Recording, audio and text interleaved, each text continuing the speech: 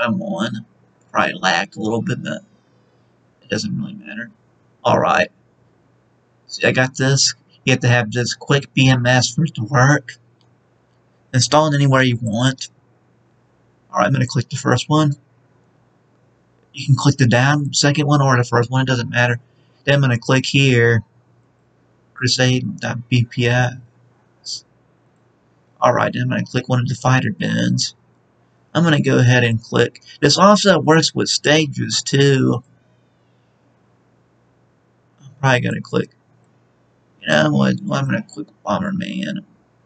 Then you click Save. You click Yes. Y for yes. Type in Y and enter. Watch, it gets all the bin files for you. And there you have it. It works with stages too. I'll show you.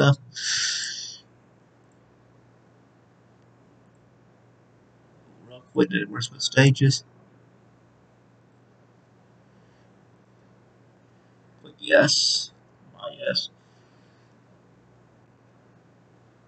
Oh, I must have did something wrong. Oh, wait, it worked. And I'll show you the files. Now watch. I'm going to do this. You have all this, but you don't really need the sprites as much. Burn, yeah, there's some stuff you can use for the game. I don't know if you can use that in the game, because I don't think it ever got used. Ladder never got used. But yeah.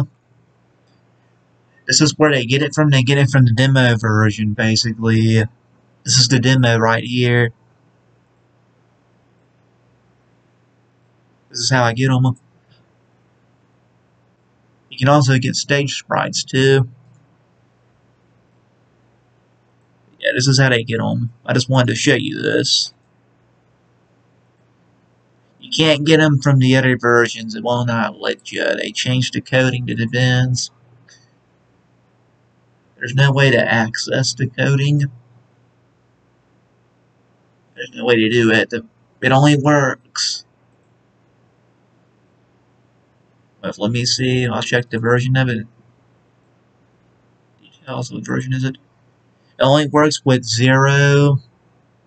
Only works with zero two point zero point oh nine point two oh zero. Only works with this version. Will not work with the other versions. I can't give you the bin files of that anyways. I don't think they would mind since this is a demo not used anymore. I don't think the Crusade team will mind anyways. But yeah, that's how they get them. They basically just modified the coding, basically.